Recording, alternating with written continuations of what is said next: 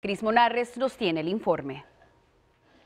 Es una guerra política y en el centro están 5 millones de indocumentados. Ayer nuestra comunidad sufrió otro duro golpe después de que la Corte de Apelaciones del Quinto Circuito rechazó una petición de emergencia del Departamento de Justicia para levantar el bloqueo a los alivios migratorios del presidente Obama mientras la demanda de 26 estados republicanos liderados por Texas continúa su curso legal Reprochamos totalmente estas acciones por parte de estos estados republicanos, acciones antimigrantes que ha recogido el Poder Judicial y que está demostrando ser también de un corte antimigrantes. Dos de los tres jueces rechazaron levantar el bloqueo al DAPA y la extensión del DACA, argumentando la dificultad del gobierno para demostrar méritos en su apelación.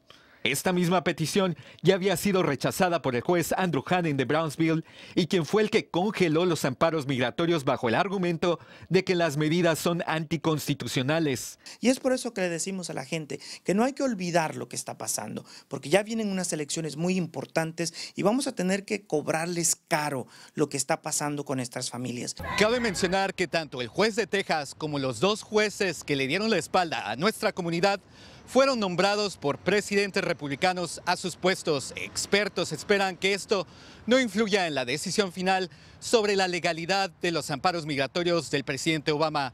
Reportando en vivo desde la ciudad de Burbank, yo soy Chris Monarres, Noticias 62, tu ciudad, tu equipo.